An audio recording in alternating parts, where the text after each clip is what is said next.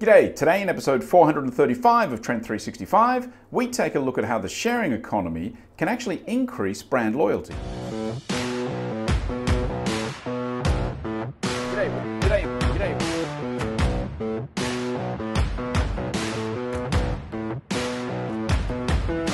You know, it's interesting when you look at the sharing economy and services like Uber, where a lot of the younger generation now, they aren't choosing to buy cars anymore.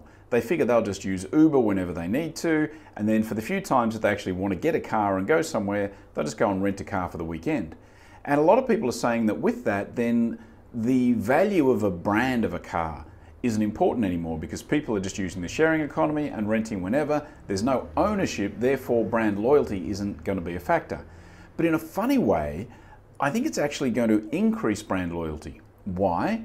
Because when you don't own the car, when you're just renting it maybe for a weekend or for a week or for a holiday, you can now basically afford to choose the car that you want.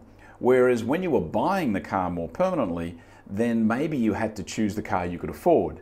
Now you can choose the car that you want because, sure, there's still an, an affordability factor in there, but it's a short term affordability thing.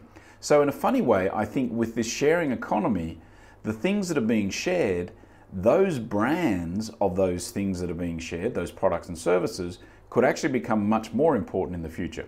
Just a thought. Alrighty, that's it for today. Thanks for tuning in. I will be back again tomorrow. See ya. It's always more fun